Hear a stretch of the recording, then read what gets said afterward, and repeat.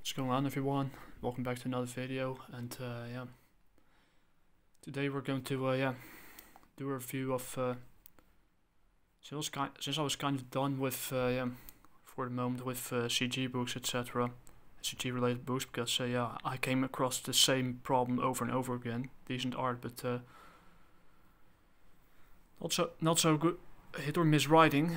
I decided to get into yeah kind of new kind of yeah expand my horizons a bit and uh, review an uh, an indie comic by a fellow Dutchie. This is called uh, A New Dawn. That's it's an uh, indie comic re released uh, by uh, Loudcyan or uh, Kimmicomics. And uh, yeah, it's kind of uh, we call it uh, a queer coming to age uh, fantasy story. Sounds weird, yeah. Why the hell would you even read this? Well, I might I might sometimes use uh, certain words etc. But uh, I have no problem with people who are lesbians or gay, whatever. Whoever they share the bedroom with is not my concern, as long as they uh, don't try to push uh, it too much in my face and uh, yeah, just behave like uh, normal people, like individuals, and don't yeah use it to yeah antagonize other other people that might uh, agree or disagree with you. But, uh, yeah, that's basically my take. I have no problem with them. I, I even work with some uh, yeah people who uh, who are gay or who could be considered yeah even though yeah we can we considered uh, yeah we have a partner of the same uh, sex. So yeah. So yeah, like I said, usually it's not my type of stories, but uh, I like to expand my horizons once in a while and uh, see what uh, they can do. And uh, Loudcyan or Kimmicomics is uh, one of them. And uh, yeah, what it's about is it's a nice bookmark. Got a glass of water ready. What basically is is an uh, before I I'm first to take a sip of water.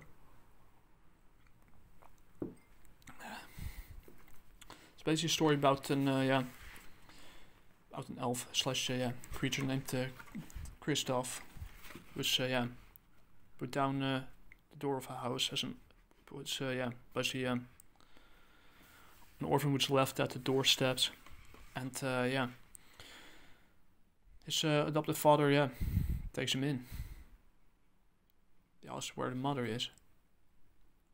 And the father is named Cliffhorn who asks uh, where his uh, mother is, but the mother is nowhere to be found. And uh, yeah, eventually he, uh, he realized that he has certain power, that he has, uh, yeah, Christophe, 10 years later, realized he has certain, uh, yeah, power, he knows how to talk to, uh, how to heal and talk to animals. And uh, yeah, his adopted mother, he goes from picnic with his adopted mother. And or father. And uh, but his father is incredibly overprotective him when he wants, but he wants to take control of his own life. Beasts are dangerous. Go to your room and don't come out until dinner is ready. So boy, I warned you so many times. When uh, yeah, it's basically nothing uh, happening. He was just talking to uh, birds, healing them, and other kinds of creatures. And he he never lets let him have his way. And yeah, that's the problem where he eventually comes to where basically every child comes to ter terms eventually. You have a good ha- you have good food, you have nice clothes, warm bed, a roof above your head, but uh, and yeah, this kind of remind this kind of reminds me of uh, when uh, yeah. Uh, I'm currently uh, moving in between places when I wanted to get out of house, but due to yeah, the housing crisis that my country uh, faces right now, it took me quite a while that, that to uh, yeah get my own place to live. So yeah, even though he's uh, he's kind of a yeah, he's a queer character. I have no problem with it. There are some thing, things you could relate to at least. He wants to he have a good food, nice clothes, but he wants to run away. He wants to be his be his own uh, man. And something yeah, beautiful, beautiful line art, etc. And uh, yeah, wants to keep the animals. No, absolutely not basically father doesn't let him have anything, and yeah, he uh, tries to run away, and uh, yeah, comes across some kind of yeah cat slash lion like being. And uh, yeah, and he enjoys his uh, solitary confinement in the forest with uh, yeah with the animals. The cerem- he wants to be the ceremony, and yeah, he is. Uh, go to ceremony, and uh, yeah. They ask him why the letter didn't come in. It wa- waits him. He took care of it. And uh, yeah, basically, father doesn't want him to let, to let him go out in the real world because it's too dangerous out there. And it's where you're safe. And he made his favorite dish to celebrate, but even that uh, does seem to. Uh, and other other puffs that are not his favorite. It's kind of food. His uh, his his uh, thing hurts, and uh, eventually during the ceremony.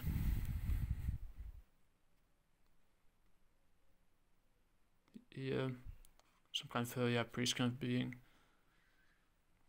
Will uh, yeah shows uh, the gem that uh, could give him a chance at adventure and freedom, basically get him the hell out of here.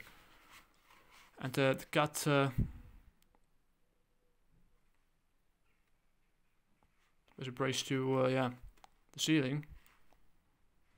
And uh, Christophe uses this as a uh, distraction to grab the to grab the yeah the amulet and the and the gem, and make his way into the portal. And uh, yeah, get the hell out of there. Basically, this is the prologue for uh, yeah other things to come, and uh, yeah, that's basically the end of the prologue. To be continued with a rising sun. So. Uh, and yeah, this is uh, done. This and this uh, this uh, splash explains uh, the title, "A New Dawn" for Christophe. Finally getting out of his uh, parents' house. And yeah, thank you for reading. You can find her here on Twitter, Loud or Kimmicomics, and Instagram. I think it's an old one, I think, but I'm not sure. And uh, yeah, here's some favorite panels. I absolutely agree that this is her favorite panel the pose is most dyna- is dynamic indeed, and uh, yeah, and a little sketch. And that she puts a sketch under there, and uh, yeah, impressive. How it all started, how she how she got all started, and uh, yeah, and yeah, it kind of reads like a D and D. Uh, walking out of a D&D campaign, but uh, yeah. And uh, yeah, she explains a little bit about how the characters were created, etc. And uh, yeah, she was telling how to, and uh, yeah, she flipped through the playbook handbook and yeah, saw the, drawing next to the light cleric and uh, she made one to play him, but uh, yeah. And uh, yeah, she thought the backstory is uh, yeah wasn't the best, but yeah. And yeah, eventually that's how Christophe was born. It comes out here. There's a, uh, yeah. He loves books and monsters, but yeah, this is first time. But there's a backstory behind that he, uh, why he lost them so much, and how he could talk to them, or at least uh, heal them at, to a certain. And he's from the Feywild. So uh, yeah. This and yeah, this is her first gun, and it's that originally pet ferret. Pretty hilarious. The character sheets, the mate, father, Christophe himself. And uh, yeah, alternate outfits.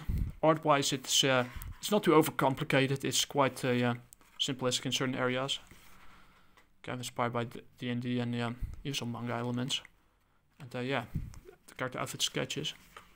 I could learn a thing, thing or two from them. They're pretty decent. And yeah, the funny sketches. even there's part of that.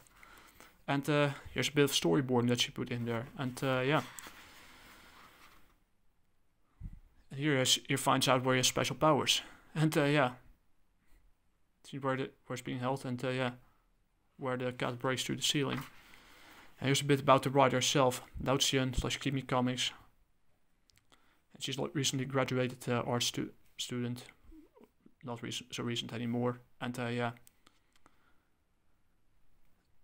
Yeah, and this is basically yeah her fi- her final internship what she uh, basically created for a final internship, and uh, yeah, and uh, yeah, she gives a little bit of background for where she comes from, etc. And it's pretty nice. And yeah, she gives a thank you. This is the pro, and yeah, like I expect, you kind of expected. This is a prologue of tw- tw- 24 pages with some extra info in it. And yeah, she even drew a special doodle for me and others, and uh, put my name on the back. This is my true name, AJ Hodes. There should be points in between, but that's that's not important. What's important is uh, the, the story and the, and the art. Art-wise, it's uh, yeah, like I said, it's not the most uh, realistic or complicated art. It is quite simplistic in certain areas, but uh, there's no doubt that she has uh, that uh, Kimmicomics slash Loudcyan has talent for it, and uh, she knows how to create a, a pretty decent uh, prologue. Genre-wise and story-wise, these type of coming-to-age queer kind of things aren't really my thing because yeah, it doesn't always interest me, and it's hard. Yeah, and uh, yeah, I'm clearly not in the target audience, but uh, for prologue and for final internships, for final internship, I think she um, yeah. This one actually actually looks for what for what it is in the genre in in the genre it's, it's written in and uh, created in.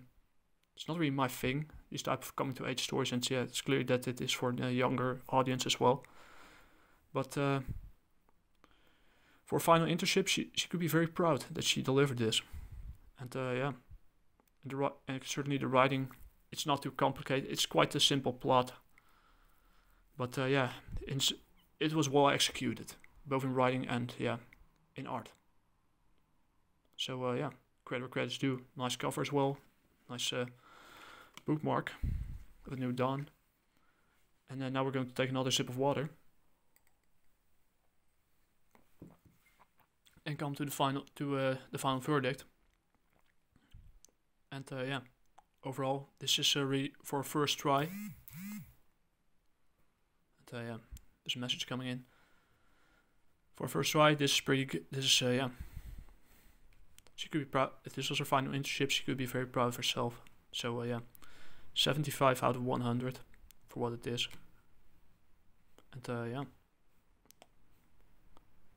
in terms of it's not the be- it's not the most uh, yeah detailed art. It's uh, most uh, yeah spectacular art or anything. It's j- simplistic, but uh, she knows what she's doing, and uh, yeah, this has potential to grow into something that uh, might be something for uh, yeah. Not for my target audience, but for an, another one as well. But uh, I can wait to read chapter one once it's out. So yeah, 75 out of 100.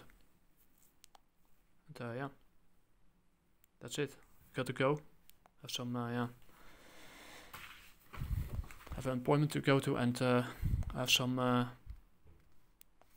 kana to uh, deliver. So uh, yeah, talk to you guys later. And uh, if you want to see what I created, Java Warrior issue one is uh, available as a vertical scrolling webcomic on uh, the official website and on global and on global comics. You can pick uh, whatever yeah display you want. And yeah, don't forget to to yeah buy yourself a digital edition on Global Comics or Gumroad. And yeah, the physical is on the is on the way. It will take yeah. I try to get it done this week because I have to do some inventory for the next con in uh, Deventer. So uh, hopefully I see you guys there. The next book that I'm going to review after this one, great job, Kimmicomics, is uh, this going to be a Dutch rev- Dutch review this time. Something I promised to uh, Frank Jonker, who's uh, the center, the scriptwriter of uh, behind Max Muller and others, and also behind uh, Love the Dutch Donald Ducks. So uh, yeah, it's about uh, and uh, Max and two people called Max and Eva that have to go at were on a sailing holiday in Bretagne, in Spa- in uh, Fran- in uh, France, and uh, yeah, Eva's dad is uh, kind of uh, yeah dies during a car accident. That's not really an accident, and they eventually have to find a blue aquamarine. That yeah. That has uh, presumably uh, healing properties. So uh, yeah, can't wait to uh, yeah read this one and give my reviewing. Uh, it's going to be Dutch review, so you might need a translator for it, to Google Translate it. Maybe you put on the, the English translations. So uh, yeah. Anyway, that's a preview for the next one. Talk to you guys later. Matane.